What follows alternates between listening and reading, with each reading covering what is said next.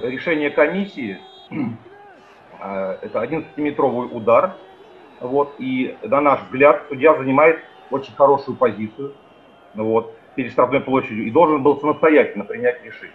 Игрок команды «Урал» номер 8 задерживает рукой э, нападающего Рубина, вот, и тот от этого контакта падает. Вот. Момент для судьи открытый, к сожалению, он не назначил 11-метровый удар, и ВАР вмешался в эту ситуацию, потому что момент э, достаточно очевиден. После просмотра видео на мониторе арбитр принял решение назначить 11-метровый удар и предъявить желтую карточку игроку Урал Емельянову. Маленькая ремарка. Значит, после того, когда судья не назначил 11-метровый удар, Э, номер три э, Рубина Меркулов в безрассудной манере атаковал игрока Урал и получил желтую карточку. После того, как был назначен 11-метровый удар, эта карточка не обнуляется, остается. Но она, так как вторая, он покинул поле.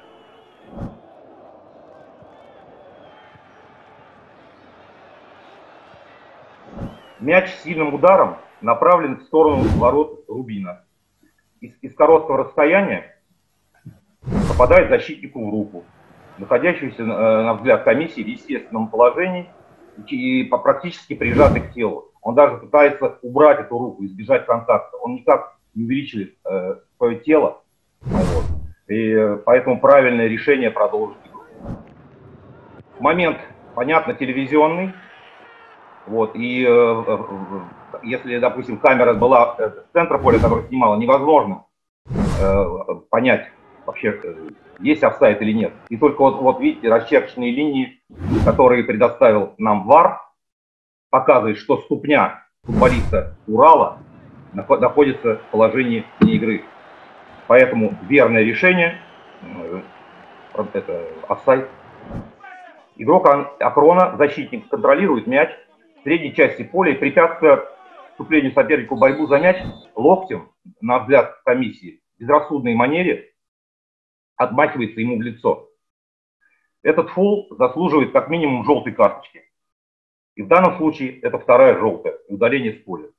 Э, надо учесть, что на последнем семинаре, прошедшем буквально за три дня до начала чемпионата, э, руководитель департамента Виктор Каши как раз обращал внимание на недопустимость использования вот таких локтей. Поэтому верное решение арбитра, второе желтая карточка и удаление.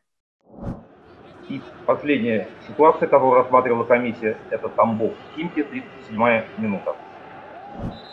Игрок э, Тамбова, Грицаенко, момент, когда мяч еще не введен, заметьте, это очень важно, до боковой линии, э, тычком, ударом попадает в лицо в, или в область куда-то шеи сопернику, вот, и э, это, э, мы считаем, что это э, агрессивная манера, э, достойная красной карточки.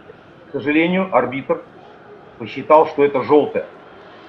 После приглашения э, посмотреть видео, он поменял свое решение, на что он имеет право, и удалил игрока поля. Верное решение арбитра.